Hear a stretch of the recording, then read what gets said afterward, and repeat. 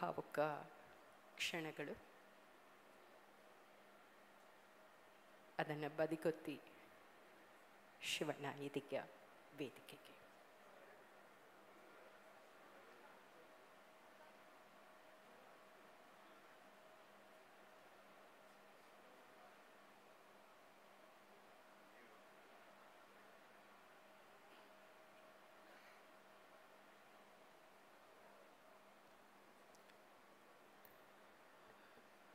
ಎಲ್ರಿಗೂ ನಮಸ್ಕಾರ. ತುಂಬ ಕಷ್ಟ ಆಗುತ್ತೆ ಮಾತಾಡೋಕ್ಕೆ, ಯಾಕಂದರೆ ಎಲ್ಲರೂ ಅವನ ಬಗ್ಗೆ ಮಾತಾಡಿದ್ದೀರ ಇವಾಗ ರಾಘು ಅಂತೂ ಇನ್ನೂ ಏನೇನೋ ದೊಡ್ಡ ದೊಡ್ಡದಾಗಿ ಮಾತಾಡ್ಬಿಟ್ಟು ಹೋಗ್ಬಿಟ್ಟ.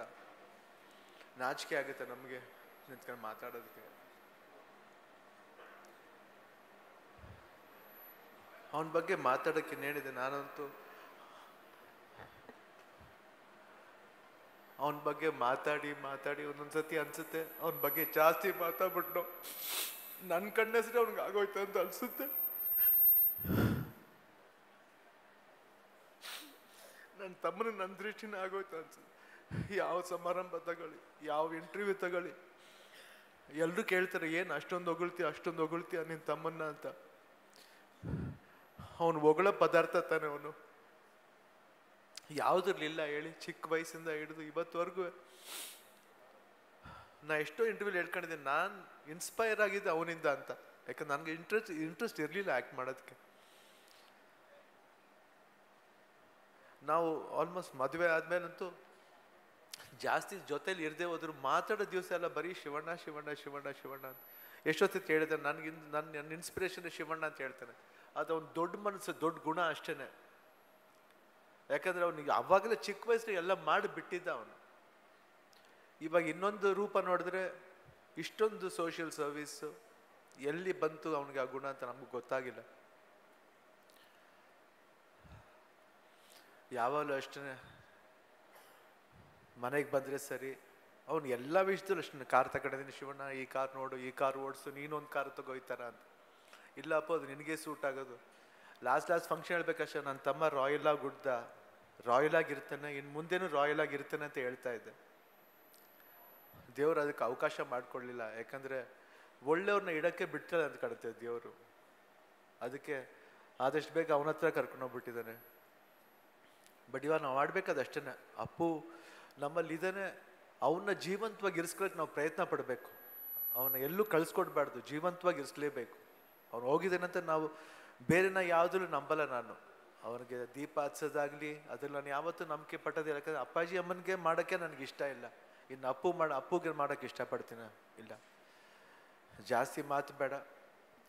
ಪಾಪ ಎಲ್ಲರೂ ಹಾಡಬೇಕಂತ ಬಂದಿದ್ದೆ ನಾನು ಅವನ ಬಗ್ಗೆ ನೆನೆಸ್ಕೊಂಡು. ಆಡಲಿ ಅದು ನೋಡ್ಕೊಂಡು ಸಂತೋಷ ಪಡಿ ಯಾಕಂದರೆ ಇದನ್ನ ನೋಡಿ ಅವನು ಸಂತೋಷ ಪಡ್ತಾನೆ ಇವತ್ತು ಪಾಪ ಅವನೇನೆ ಇದ್ಬಿಟ್ಟು ನಾನು ನಾನು ರಾಗು ಹತ್ತಿದ್ದು ನೋಡ್ಬಿಟ್ಟಿದ್ರೆ ಅವನು ಎಷ್ಟು ಸಂಕಟ ಪಡ್ತಿದ್ನೋ ಏನು. ಅದಕ್ಕೆ ನಾವು ಸಂಕಟ ಪಡೋದನ್ನ ನೋಡೋದೇ ಬೇಡ ಅಂತ ಎಲ್ಲರೂ ಹೊಂಟೋದ್ರು.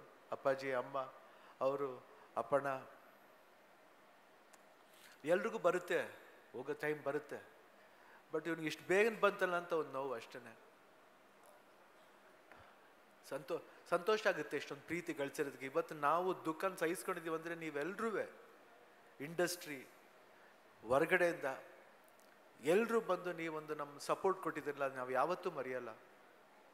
ಇವತ್ತು ನನ್ನ ತಮ್ಮನ್ನ ನೀವೆಲ್ಲ ಯಂಗ್ಸ್ಟರ್ಸ್ ಇವಾಗ ಯಾರಿದ್ದೀರ? ಧ್ರುವ ಇರ್ಬೋದು, ದರ್ಶನ್ ಇರ್ಬೋದು, ಸುದೀಪ್ ಇರ್ಬೋದು, ಯಶ್ ಇರ್ಬೋದು, ವಿಜಯ್ ಇರ್ಬೋದು, ಗಣೇಶ್ ಇರ್ಬೋದು.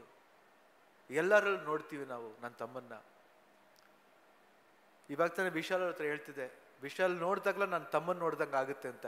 ನಾನು ಇವತ್ತು ಹೇಳಿದ ಮಾತಲ್ಲ, ಅದು ಯಾವತ್ತೂ ನಾನು ನನ್ನ ಅಪ್ಪು ಹತ್ರನೂ ಹೇಳಿದ್ದೆ. ವಿಶಾಲ್ ನೋಡಿದಾಗಲೆಲ್ಲ ನೀನು ನೋಡ್ದಂಗೆ ಆಗುತ್ತೆ ಅಪ್ಪು. ಅವ್ರ ಬಾಡಿ ಲ್ಯಾಂಗ್ವೇಜ್ ಇರ್ಬೋದು, ಅವ್ರು ಆ್ಯಕ್ಟ್ ಮಾಡೋ ಸ್ಟೈಲ್ ಇರ್ಬೋದು. ಎಲ್ಲ ಅವ್ರು ನೋಡ್ದಂಗೆ ಇವತ್ತು ನೋಡಿದಾಗಲೂ ಅದನ್ನೇ ನಾನು ಶೇರ್ ಮಾಡ್ಕೊತಾ ಇದ್ದೆ.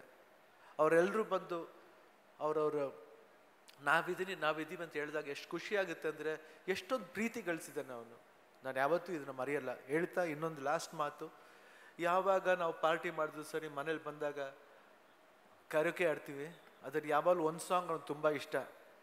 ಮೈ ಶಾಯರ್ ತೋ ನಹಿ ಅಂತ ತುಂಬ ಇಷ್ಟ ಅವನಿಗೋಸ್ಕರ ಈ ಹಾಡು ಹೇಳ್ತೀನಿ Appu this is for you मैं शायर तो नहीं मगर ए हसी जब से देखा मैंने तुझको मुझको शायरी आ गई मैं शायर तो नहीं। सोचता हूँ, मगर मैं दुआ माँगता, हाथ अपने उठाकर तुझे माँगता। जब से तुमसे मोहब्बत मैं करने लगा, तब से मैंने इबादत मैं करने लगा। मैं काफिर तो नहीं। मगर